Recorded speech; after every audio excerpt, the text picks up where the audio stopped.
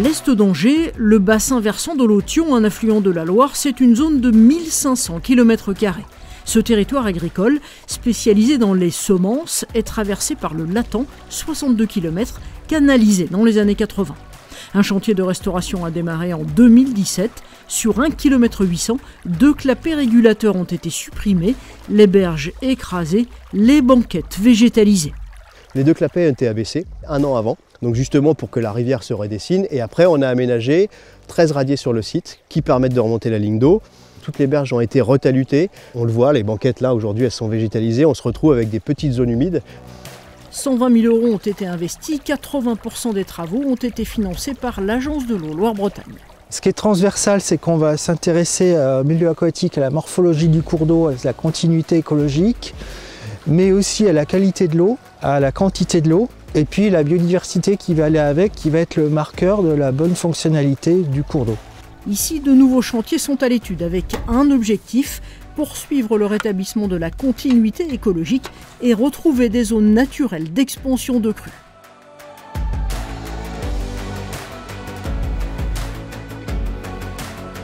Agriculteurs, forestiers, riverains, élus ont été associés à ce projet parce que la restauration des cours d'eau, l'aménagement de bassins passe forcément par la concertation. Le partage des connaissances, le partage des visions et des regards est fondamental et la concertation c'est ce que ça apporte en fait. Ça concourt à une dynamique de territoire et à une démarche partenariale. Concertation, co-construction, c'est l'enjeu du PTGE, le projet de territoire pour la gestion de l'eau alliée-aval. Des dizaines de réunions comme celle-ci sont organisées, même si le bassin n'est pas en tension. Sur chaque territoire, il faut mettre en place des outils de concertation et de gestion. Le PTGE, c'est une démarche territoriale qui engage l'ensemble des acteurs du territoire à co-construire un programme d'action qui vise à atteindre l'équilibre entre besoins et ressources en eau. Pour faire en sorte que le, partage de l'eau soit le plus euh, juste possible entre les acteurs, sans oublier en final euh, les milieux aquatiques. Et pour que les acteurs choisissent ensemble euh, ce qu'ils veulent faire sur leur territoire en utilisant une ressource en eau en général limitée.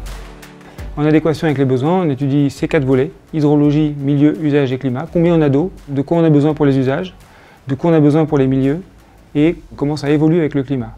Ensuite, on croise ces enjeux, on établit un diagnostic du territoire qui permet de, choisir ensuite euh, des orientations pour le territoire et d'établir un programme d'action. Euh, l'intérêt, c'est de rassembler un territoire autour euh, d'une problématique commune, construire une vision politique commune du territoire sur cette question de la gestion quantitative.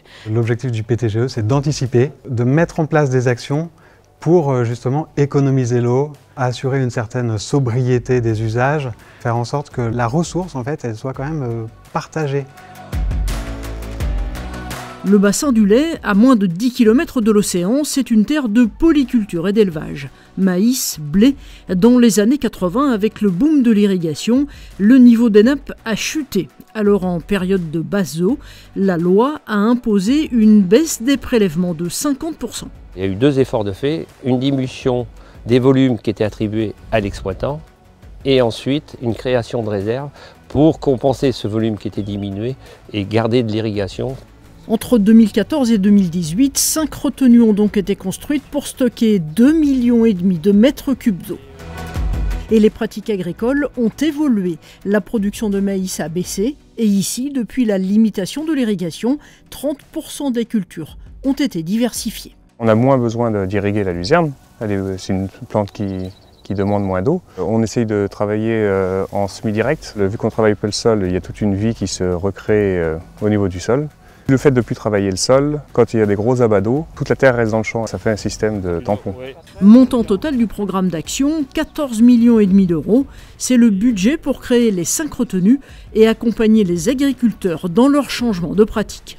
L'agence a financé la, réalisation de ces réserves à hauteur de 70% des investissements, des volumes stockés. Elle a accompagné aussi euh, les agriculteurs dans les économies d'eau qu'ils ont dû réaliser pour moins euh, consommer d'eau. Depuis la mise en place de ces premières réserves, en été, le niveau de nappe dans le sol remonte de 50 cm parce que le pompage ne se fait plus intégralement dans la nappe, mais avec une partie sur les réserves. Les cinq retenues ont permis le maintien d'une agriculture, même s'il y a eu une diminution des volumes. Et surtout, on a respecté les engagements qui avaient été pris vis-à-vis -vis du DAGE de maintenir les niveaux d'eau dans le marais. Financement, études, expertise, l'agence de l'eau Loire-Bretagne est plus que jamais mobilisée pour que chaque territoire ait les moyens de s'adapter à l'évolution climatique pour gérer la qualité et surtout désormais la quantité de l'eau.